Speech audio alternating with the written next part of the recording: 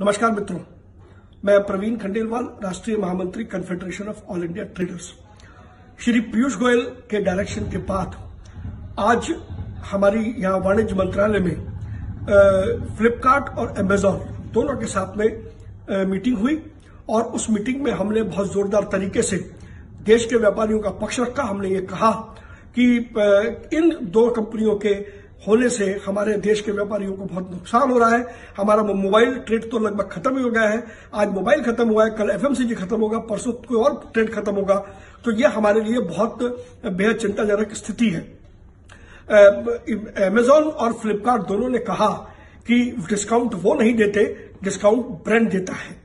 तो अब हम ब्रांड वालों से बात करेंगे।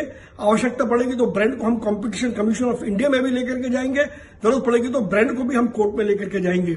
लेकिन यह बात प्रूव होगी, अगर ब्रांड देता है तो ब्रांड का लाइसेंस कैंसिल होगा और अगर अमेजॉन फ्लिपकार्ट देते तो उनके लिए बहुत बड़ी मुसीबत खड़ी हो जाएगी। तो आज की मीटिंग में हमने बहुत विस्तार से सारी बातें आपके बिहार पर कही है। अब हम इंतज़ार कर रहे हैं श्री पीयूष गोयल जी के भारत आने का, और उसके बाद हम एक बार उनसे बातचीत करेंगे।